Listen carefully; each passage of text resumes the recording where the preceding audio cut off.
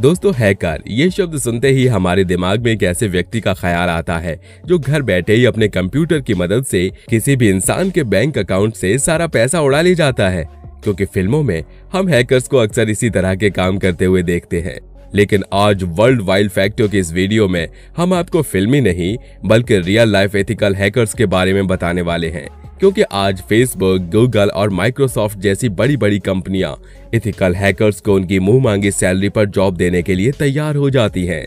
साथ ही आपको बताएँगे कि भारत में वो कौन सी कंपनियाँ हैं जो हैकर्स को नौकरी देती हैं और इंडिया में एथिकल हैकर की एवरेज सैलरी कितनी होती है।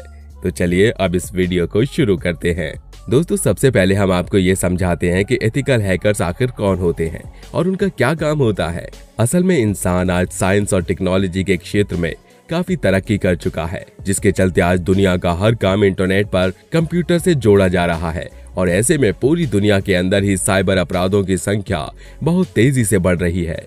एक शातिर हैकर दुनिया के किसी भी कोने में बैठकर आपके सिस्टम और आपके कंप्यूटर में घुस सकता है और आपको ऐसे ऐसे तरीकों से नुकसान पहुँचा सकता है, जिनके बारे में आपने सोचा तक नहीं होगा। दरअसल दुनिया में दो प्रकार के हैकर्स होते हैं।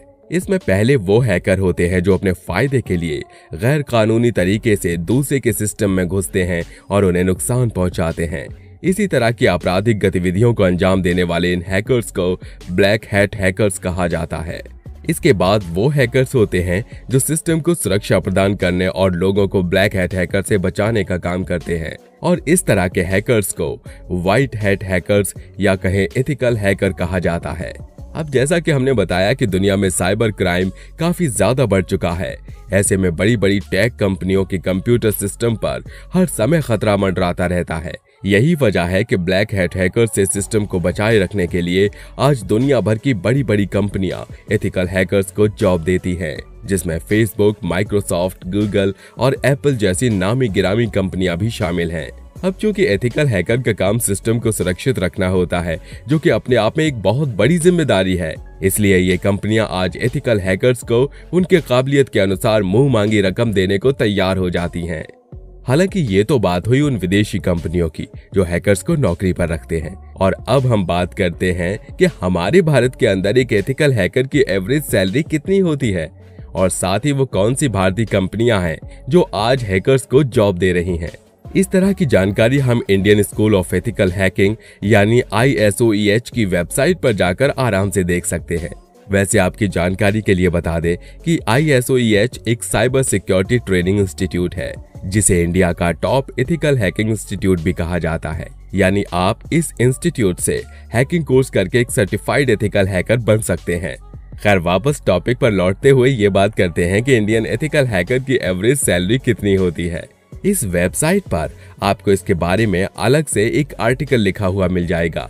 जैसा कि आप स्क्रीन पर देख सकते हैं कि भारत में अलग अलग पदों पर एथिकल हैकर्स को अलग अलग सैलरी दी जाती है।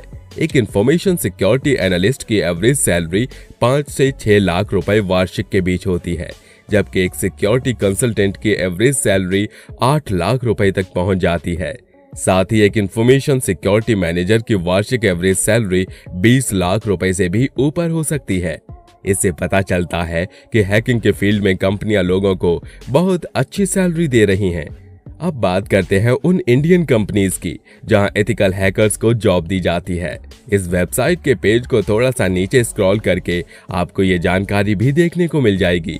आप देख सकते हैं कि Wipro Wipro technologies IBM India और ई e जैसी कंपनियाँ आज हैकर्स को जॉब दे रही हैं। इसके अलावा यहाँ आपको एथिकल हैकिंग से जुड़ी और भी बहुत सी अहम जानकारी मिल जाएगी, जिसे आप वेबसाइट पर जाकर आराम से चेक कर सकते हैं। बाकी दोस्तों, आज वर्ल्ड वाइल्ड फैक्टो की इस वीडियो में बस इतना ही। ये वीडियो आपको कैसी लगी, हमें कमेंट करके ज़रूर बताइएगा। वीडियो अच्छी लगी हो तो वीडियो को लाइक और शेयर ज़रूर कीजिए। और अगर आप चैनल पर नए हैं तो चैनल को सब्सक्राइब करना बिल्कुल मत भूलिए। धन्यवाद।